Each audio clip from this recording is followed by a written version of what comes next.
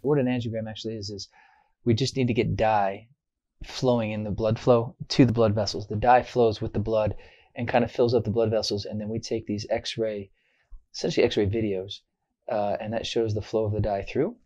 And that dye, um, because it flows with the blood, it shows us the caliber, the size, the shape, and the flow rate through the blood vessels, so that we can see if the blood vessels are normal in their size and their shape and their blood and their flow rate, or if there's any pathology like an aneurysm or AVM or some other kind of vascular or vessel abnormality.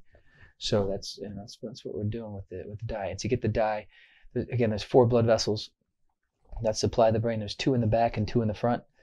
The two in the back are called the vertebral arteries, and the two in the front are called the carotid arteries. And we select each one individually, one at a time. Inject the dye. It flows with the blood into the brain. We take the video and we see what the blood vessels look like, and then we move on to the next one.